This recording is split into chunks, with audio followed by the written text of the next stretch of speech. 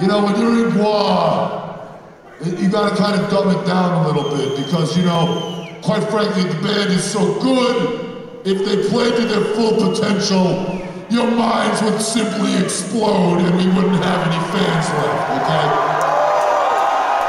So, we decided to take the worst song in the world and turn it into metal gold!